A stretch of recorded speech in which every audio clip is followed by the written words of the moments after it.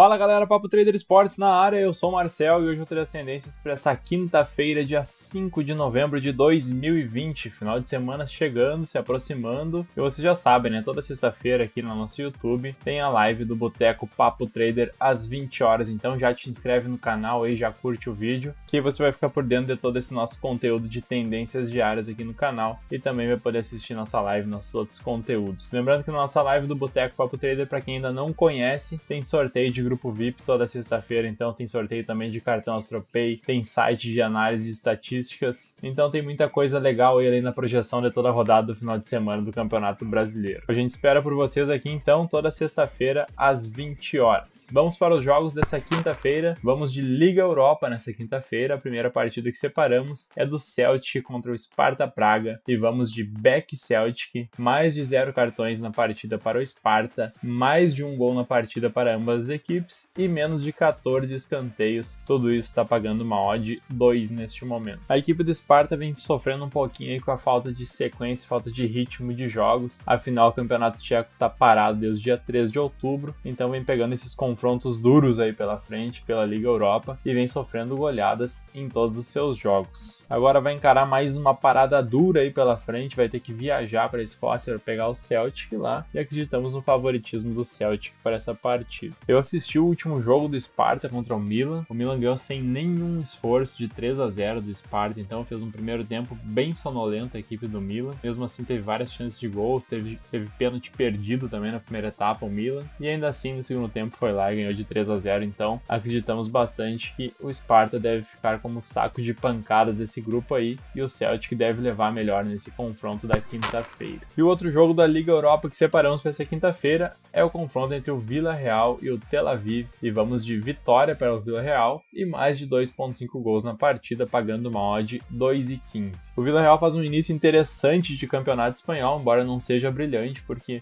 não vem conseguindo ganhar muitas partidas, vem empatando vários jogos, mas perdeu apenas um jogo até aqui, tá na terceira colocação do espanhol. É uma posição bem interessante até o momento para o time do Vila Real no Campeonato Espanhol também, que é um campeonato bem mais forte aí do que a competição nacional que o Tel Aviv enfrenta lá em Israel. Então o Vila Real joga em casa, tem uma competição de nível bem superior em relação ao Tel Aviv, goleou nas suas duas outras partidas da Liga Europa até agora, fez um 3 a 1 e um 5 a 3 então vamos torcer aí para a chuva de gols, para o ataque do Vila Real continuar funcionando bem e a gente sair com mais um green aí nessa quinta-feira. Pessoal, temos muitas oportunidades nessa quinta-feira, mas resolvemos separar apenas essas duas tem Copa do Brasil também no fim do dia. O Palmeiras joga a classificação bastante encaminhada, vai pegar o Bragantino. O Palmeiras vem de técnico novo aí. Provavelmente o time queira mostrar trabalho, porém, como já vem com resultado bem encaminhado, a gente ficou com um pouco de receio de mandar uma entrada nessa partida. O Grêmio também não vem mostrando um bom futebol até o momento. Juventude saiu notícia aqui no Sul que deve vir desfalcado, tem jogadores com suspeita de Covid, mas a informação ainda é de bastidor, não está confirmada. Então também resolvemos segurar aí nesses dois confrontos da Copa do Brasil e vamos nesses dois aí da Liga Europa que acreditamos ter uma tendência um pouco maior de bater com essas odds bem interessantes para essa quinta-feira. Por hoje é isso então, pessoal. Esperamos todos vocês aqui no nosso boteco na sexta-feira às 20 horas. Um abraço a todos e até a próxima.